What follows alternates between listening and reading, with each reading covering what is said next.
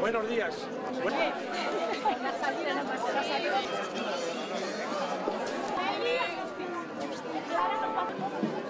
Con España, la Junta de Castilla y León, la comunidad autónoma en definitiva, viene manteniendo una, una vieja y creciente relación de cooperación económica en el mantenimiento y en la concertación de plazas.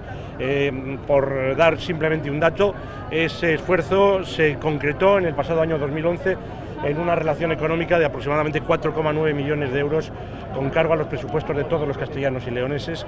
Y yo quiero decir que afortunadamente, puesto que hemos marcado esa clara prioridad, esa cantidad eh, va a poder mantenerse en unos presupuestos muy restrictivos, como sabéis, son los que en este momento todavía debaten y aprobarán la próxima semana las Cortes de Castilla y León. Si me ven con la mano en alto, de verde. Vamos ahí. Corto de montaña.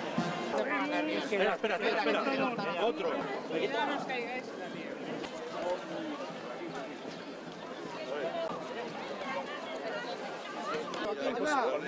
hemos estado desde el año 2000.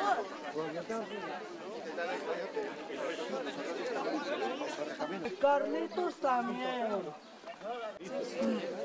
Cuidado.